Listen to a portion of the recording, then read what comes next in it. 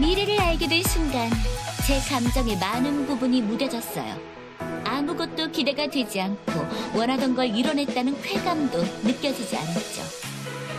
하지만 당신은 그 결과를 향해 나아가는 모습만으로 제 감정을 고조시키네요.